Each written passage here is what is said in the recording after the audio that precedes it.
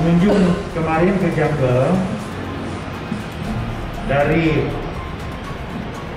kapasitas maksimal sejumlah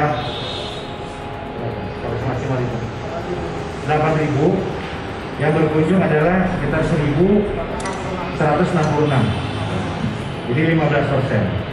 Jadi dari aspek kapasitas tidak ada pelanggaran.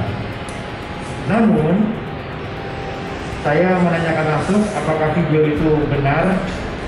Disampaikan bahwa benar. Mengapa itu terjadi? Karena pengaturan sistem bagi pengunjung di kolam arus kolam ombak itu hanya satu kali selama 10 menit sehingga terjadi penumpukan. Nah, artinya apa? ada pelanggaran protokol kesehatan. Ke depan atas kerumunan kemarin kami akan perbaiki aturan-aturan yang akan diberlakukan di Liga khususnya di kolam ombak. Nah, kami akan evaluasi yang karena hanya satu kali diputar karena kita lihat untuk efisiensi ternyata malah terjadi. Jadi kami siap uh, jalankan sanksi yang akan diberikan dan ke depan akan kami perbaiki